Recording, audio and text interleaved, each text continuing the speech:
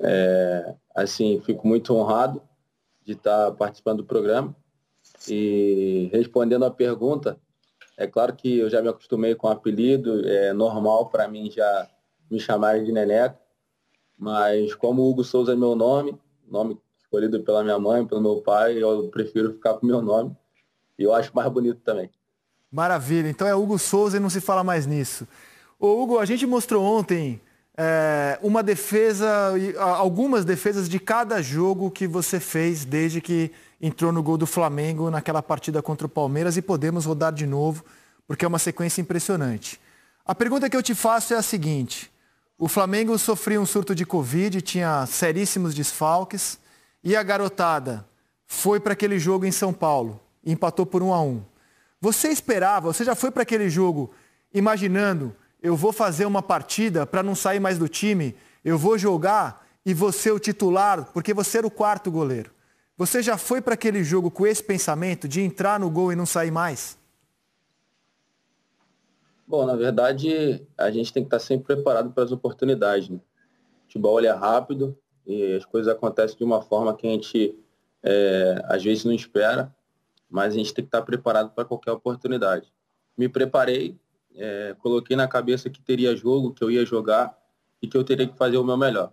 E graças a Deus eu fui feliz em fazer o meu melhor e fiz um grande jogo e tenho mostrado meu trabalho, graças a Deus, e graças ao trabalho que eu sempre vim plantando dentro do clube, é, dia a dia, e agora, graças a Deus, eu estou colhendo. Não, isso não quer dizer que eu deva parar de trabalhar, porque nesse momento que a gente precisa trabalhar mais ainda, porque se difícil é chegar, mais difícil ainda é se manter, e eu pretendo manter a minha melhor forma, é, pretendo continuar ajudando a equipe, e fazer o meu melhor sempre.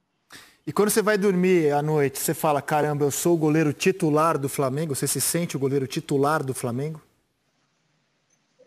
Bom, essa, essa dor de cabeça eu prefiro deixar para o treinador. Eu estou fazendo o meu melhor. Eu trabalho com quatro grandes, com três grandes goleiros, na verdade. O Diego é uma referência, é um ídolo. O Cezão é um grande goleiro. O Gabriel é um grande goleiro eu tenho a oportunidade de trabalhar dia a dia com eles. E assim, eu fico, eu fico honrado em poder trabalhar com eles.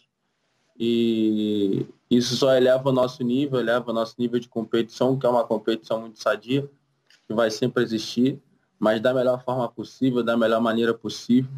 Então, acredito que cada um está buscando seu espaço e essa dor de cabeça fica para o treinador. Dor de cabeça boa, hein? Feliz do treinador que tem essa dor de cabeça. Paulo Vinícius Coelho. Hugo Posso... Diz, Vai lá, Serginho. Não, é, é, é, que era só para pegar um pouquinho o gancho do, do, do Diego, tá? É, você, você é um cara é, que, que vê, vê os teus lances, vê os lances de todo mundo. É, você sabe o que, que você fez, né? Não precisa ninguém te dizer o que, que você fez nesses nesses jogos, aquele jogo contra o Palmeiras, né, o jogo contra o Atlético, né, você fechou o gol, você sabe disso. É, o Diego é um mentor, é um cara que te ajuda, eu sei que você admira ele, eu sei que o Diego te trata muito bem também. É, a pergunta que eu te faço é a seguinte, não seria de, de é, para todo mundo você é o titular, viu, Hugo? Você sabe disso, né? Você está lendo na imprensa, né? Por tudo que você fez, por meritocracia. Agora, não seria mais cômodo para você se de repente é, o Domi deixasse é, o Diego em alguma competição, na Copa do Brasil ou na Libertadores, e você ficasse na outra? Você não, você não ficaria menos constrangido, digamos assim? Ou, ou dane-se, eu quero ser titular de qualquer jeito em todos os jogos?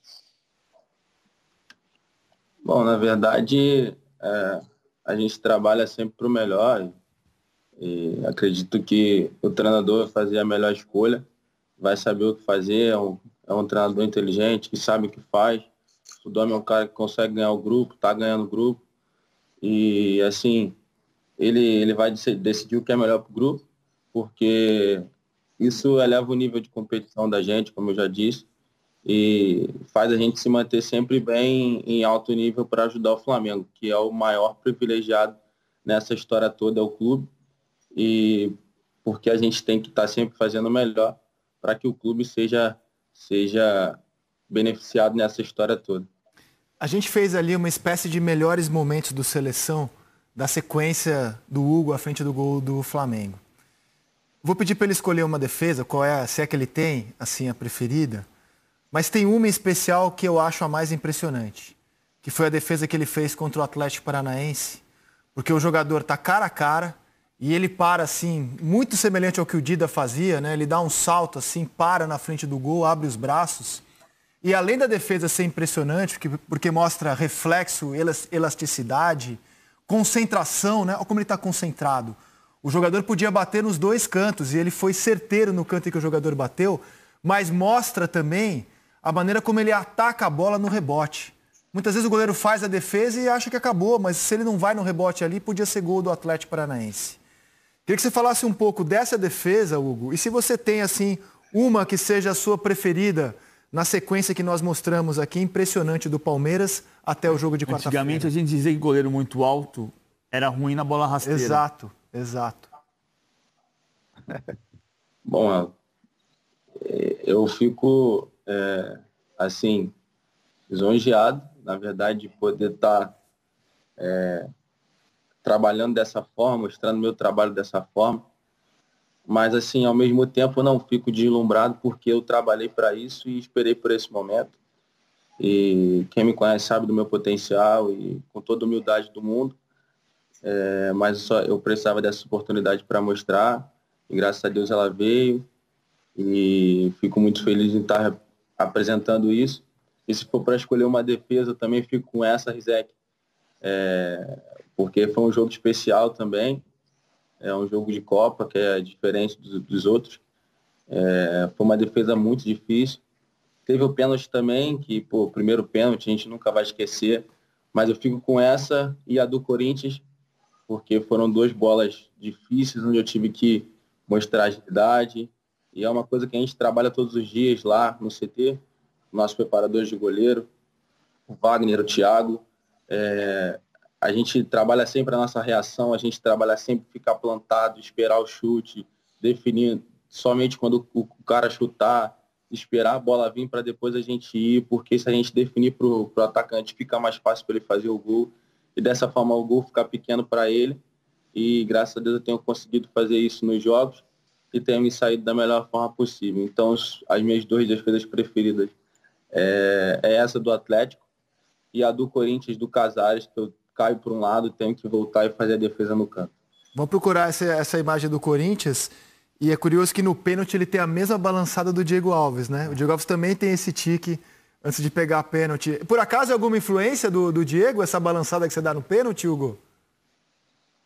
Toda influência dele, toda influência dele. É, acompanho o Diego há muito tempo e, assim, eu sempre, na base do, do, do clube, eu sempre peguei bastante pênalti é, durante jogos de decisões de pênalti e eu sempre acompanhei muito Diego. E é uma técnica que ele usa e que deu muito certo na Europa. Ele não é à toa que ele é o maior pegador de pênalti da, da La Liga e é o cara que é referência nisso, não só nisso, mas no gol, por, por, pelo goleiro que ele é, é, pelo ídolo que ele se tornou. E assim, isso é total influência dele.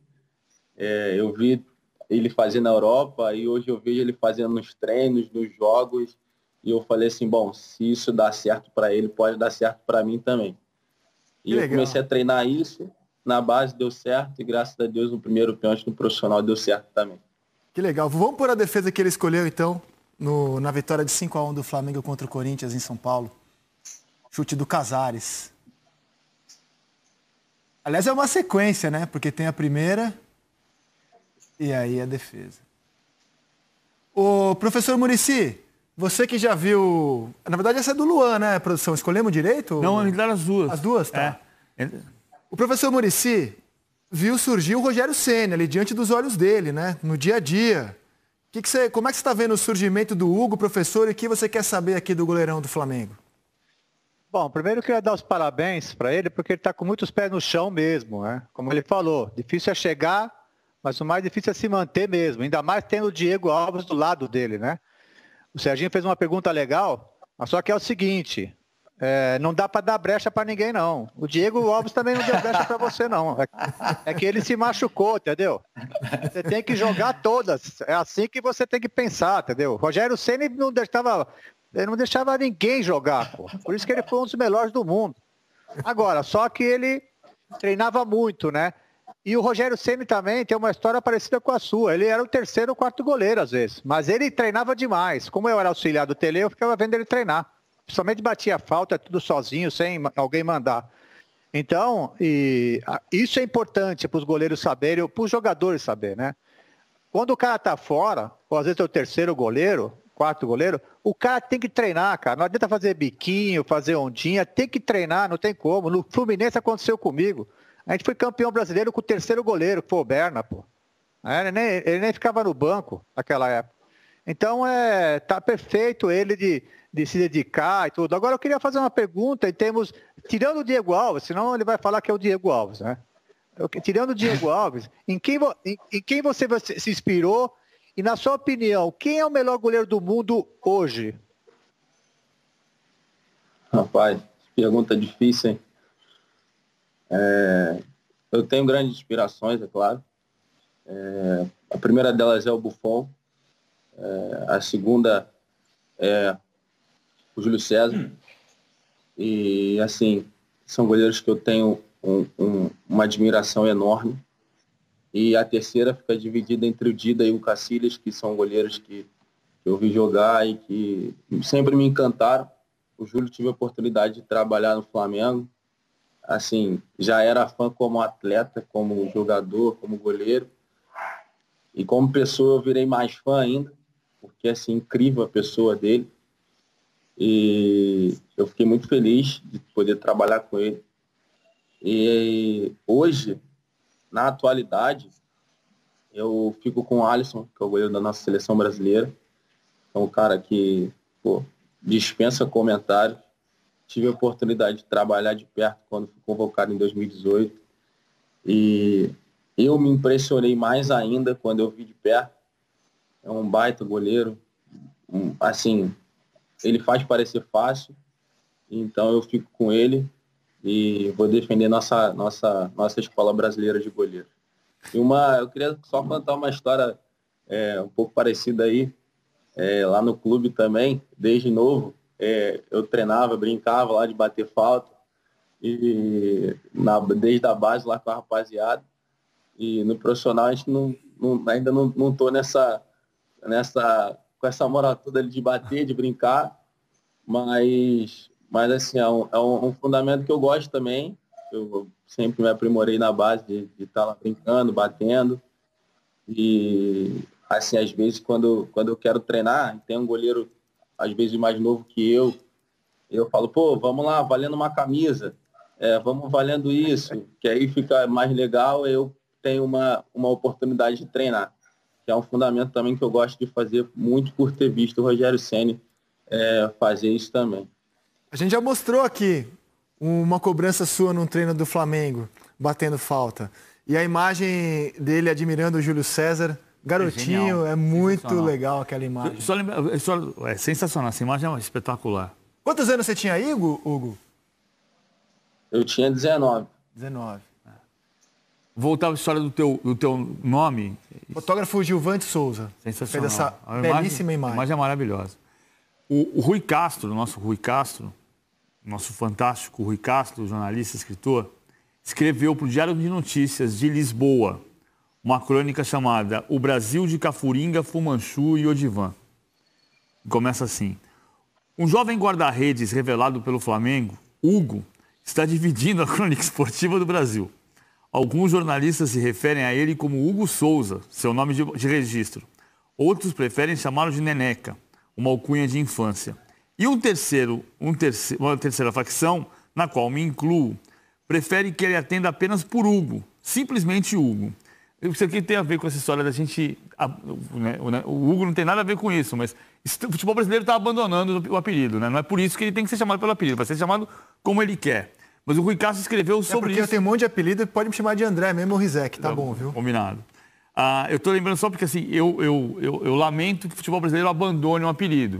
uh, e que, e que uh, corra cada vez mais para o nome e sobrenome. Mas vou chamar de Hugo, como ele prefere ser chamado, evidentemente. Hugo, como é que você. Eu queria que você comparasse duas alegrias.